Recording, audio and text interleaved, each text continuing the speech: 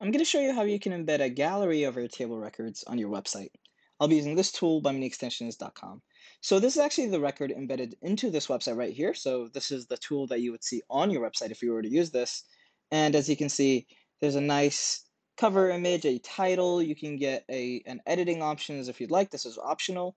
And the gallery actually really fits nicely into the website, scales with it.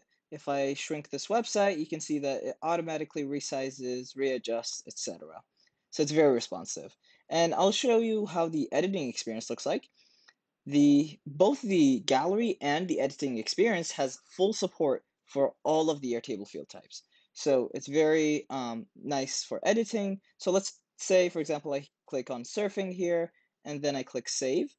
As you'll see is, as soon as I'm taken back, I'll see that this is actually pretty much immediately updated. So all of this editing is super live. This immediately got updated in Airtable, and it's just that simple. So I'll show you how you would set this up now. Start by filling up your API key, follow the blue URL to find that, and then choose your base, and then choose your table. Then you'll choose the view that controls what records are shown. So this both controls the filtering of the records plus the sorting. So, you know, what shows first, second, etc.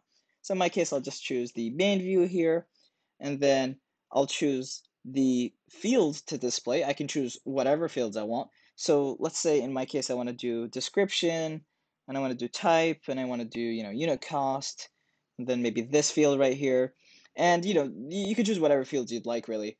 And then, then I'll choose the card title. This is what you saw here, this card title, the bold thing. In my case, I'll choose name, and then I'll choose that card cover image that you saw earlier. And then after that, we'll choose whether or not we want our users to edit. So if you don't want your users to be able to edit these, you can just skip this. If you do want your users to edit this, you can switch this on, and then you can choose exactly what they can edit. And this doesn't have to be the same fields that they are seeing in the gallery. This can be a, a different subset or the same or all of the fields, totally up to you. So let's say I just want them to be able to edit the name. I can just select that and I can go ahead and click save here. Now, if I wanted to embed this on my website, I, I would click on this and then copy this iframe code and put it on my website. For this demo, I'm just going to show you what it would look like if you were to just use the gallery hosted on our website. So in my case, the gallery looks like this. It scales nicely and it sort of shows as that grid style that people are used to.